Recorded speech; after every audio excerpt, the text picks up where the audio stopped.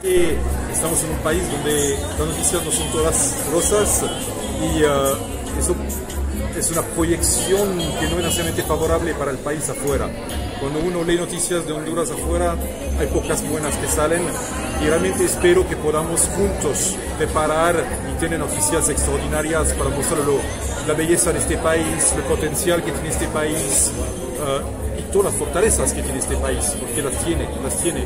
Es el quinto país mayor productor de café en el mundo, tiene una calidad de café espectacular, quiero que lo demostremos, quiero que protectamos esa caficultura, que sigamos apoyando que los jóvenes sigan trabajando en la caficultura, que no la abandonen, que no abandonen el país para ir al norte, y uh, qué podemos hacer juntos, porque no es Nestlé que lo va a hacer solo, necesitamos de muchos parceros para que eso acontezca. Y uh, es realmente lo que espero hacer aquí. La inversión de Nestlé en Honduras es importante, millonaria. Sí, la inversión es importante. Como saben, acabamos de abrir un nuevo centro de distribución en San Pedro Sula. Todavía no tengo las cifras. Como les dije, recién llego, tengo tres días en el país. No tengo todas las cifras.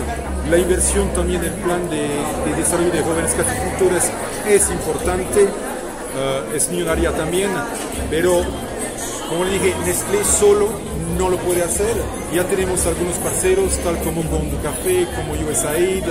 Estamos por negociar con otras empresas esta noche, mañana. Estamos buscando participantes realmente para apoyar, porque desarrollar 25 mil personas es caro, es costoso, particularmente en un país tan enorme, ¿no? La logística, mover gente, hospedarlos, dar comida. Entonces buscamos, necesitamos más, más partners para, para este proyecto. ¿Qué podemos adelantar en cuanto a la inversión próxima en el país? No creo que le pueda adelantar cifras en este momento, pero yo creo que ya el hecho de desarrollar 25.000 caficultores en 5 años es una inversión ya en talento, es una inversión en potencial. También repito que estamos por instalar 10.000 secadores solares uh, de café. Estas secadoras incrementan de forma sustancial el ingreso de un caficultor, porque el caficultor no tiene presión de vender café húmedo y un café que todavía no sabe cuál es su calidad real intrínseca. Desde el momento que tiene un presecado, lo puede primero vender cuando él quiere venderlo, porque ya no se va a dañar en los dos días. Entonces va a tener un mayor control sobre su ingreso, va a saber qué calidad de café estuvo produciendo, porque ya lo va a ver, ya no hay culpa alrededor.